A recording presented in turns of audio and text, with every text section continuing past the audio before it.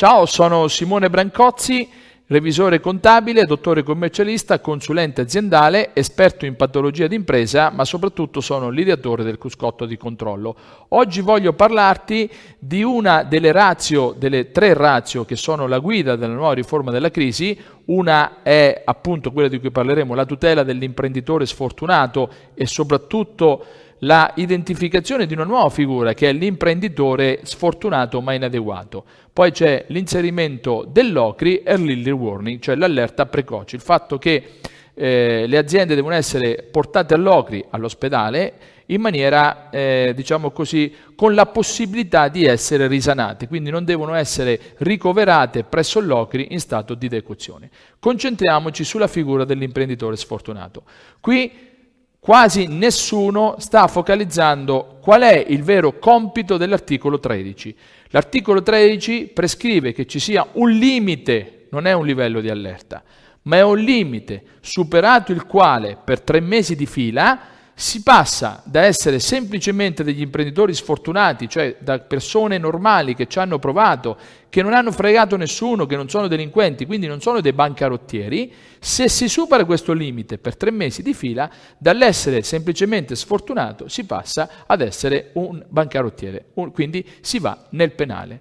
Questo limite deve essere stabilito dal Consiglio nazionale dottori commercialisti, quindi non è un alert, ma è un limite, cioè è il limite che separa la, camera di, eh, la, la rianimazione dalla camera mortuaria. Quindi un'azienda che è in stato di decozione deve fermarsi, portarsi all'OCRI, vedere se l'OCRI in qualche modo può risanare la crisi Oppure, se l'OCRI non ci riesce, passare per l'articolo 67, quindi per un piano attestato, per un 182 bis, per un concordato, oppure per la liquidazione giudiziale.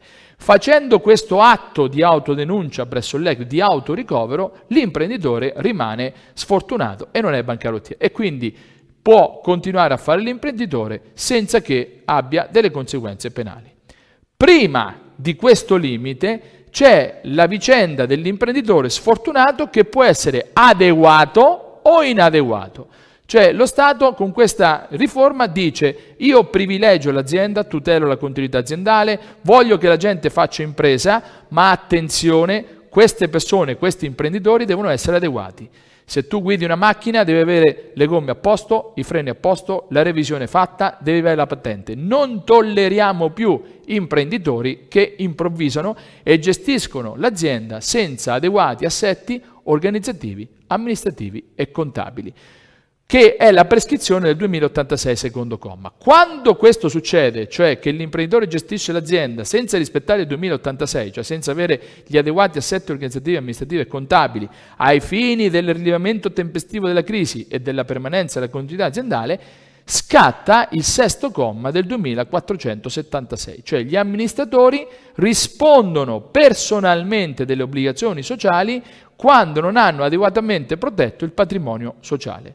Quindi accade che un imprenditore che sta prima del limite dell'articolo 13 e quindi esercita normalmente la sua attività, la gestisce in modo inadeguato, non va in galera, non è un bancarottiere, ma è inadeguato, quindi deve pagare lui, perché la sua azienda non è stata dotata di adeguati assetti organizzativi, amministrativi e contabili. Quindi, ad esempio, deve monitorare sugli indizi di crisi, perché il 2086 parla di intercettare gli indizi di crisi. Lo stesso primo comma dell'articolo 14 parla di intercettamento degli indizi di crisi. Sto leggendo molte stupidaggini a tale proposito, che gli indizi sarebbero un deterioramento degli indici. Attenzione, se la crisi va nei numeri, nel bilancio, quello non è un indizio, è una prova. È una prova che si sta male. L'indizio è quando si perde il going concern, non inteso come possibilità dell'azienda di andare avanti, ma inteso, nell'accezione anglosassone, di fare ogni giorno un'azione, delle azioni che diano un futuro migliore. Quando in azienda si fanno delle azioni che non danno un futuro eh, migliore, si sta perdendo il going. Faccio un esempio. Azienda sana dal bilancio, quindi abbiamo ROI positivo, quindi un'azienda che produce reddito, margine di struttura allargato positivo, quindi fonti a lungo superiore all'attivo fisso, quindi azienda sana dal punto di vista finanziario, quindi rating eccezionale, ma magari una lite fra soci. Magari ha una customer satisfaction negativa, cioè una, una, una una soddisfazione del cliente negativo o addirittura non rileva la customer satisfaction. Ha un clima aziendale negativo per cui i collaboratori non sono eh, non sono tesi insieme all'imprenditore, non sono uniti insieme all'imprenditore nel raggiungimento degli obiettivi e magari fanno alcuni sacrifici in meno. Il portafoglio prodotti oggi garantisce fatturato, ma è fatto da prodotti maturi, cioè oggi fatturano, domani non fattureranno. L'azienda non fa innovazione, l'azienda non fa formazione, l'azienda sta perdendo quote di mercato. Cioè in questa situazione, che guardando gli indici sarebbe spettacolare, in realtà ci sono degli indizi di crisi, dei forti indizi di crisi. Questa valutazione è una valutazione che si fa soltanto con il controllo qualitativo. Questo non vuol dire che il controllo quantitativo non serve, anzi il controllo quantitativo è la base. Se tu non rilevi immagini di contribuzione, il 2086 non l'hai minimamente rispettato. Quindi anche nel caso in cui ci sia un controllo di gestione quantitativo, quindi break even, budget, eccetera, eccetera, necessita l'adozione di un controllo qualitativo e l'unico strumento di controllo qualitativo che misura la persistenza e la continuità aziendale è la balance scorecard di Kaplan e Norton.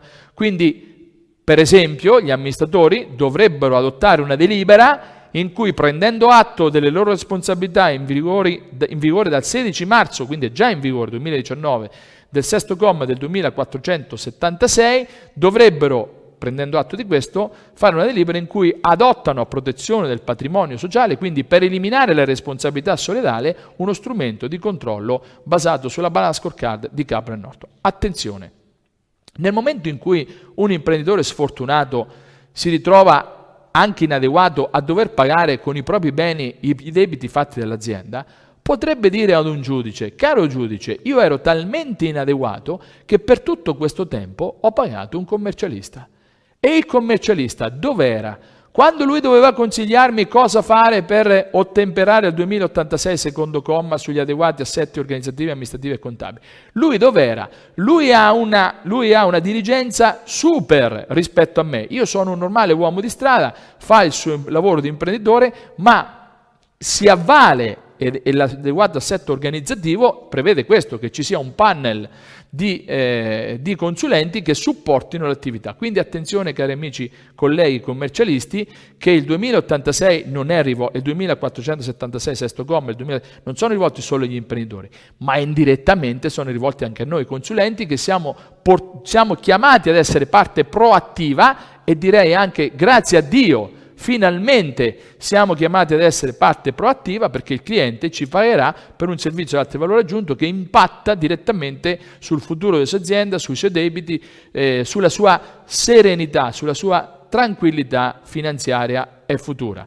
Ovviamente tutto questo amplificato per altre 100 volte sul ruolo del revisore. Il revisore non può prescindere dal misurare la variabile qualitativa. Il primo comma, articolo 14, dice proprio che lui deve allertare l'amministratore con una PEC quando perde gli indizi di crisi. Gli indizi di crisi non sono il deterioramento degli indici di bilancio, ma sono esattamente eh, la perdita del going concert della continuità aziendale. Quindi mi raccomando, questa storia dell'articolo 13 che è un alert non è così, l'articolo 13 appunto è un limite che se superato appunto significa che ti stanno portando dalla camera di rianimazione alla camera mortuaria e al cimitero. Ecco, quello è un limite patologico, un limite che separa il delinquente dall'imprenditore sfortunato che ha fatto debito e quindi vuole separare le sue responsabilità.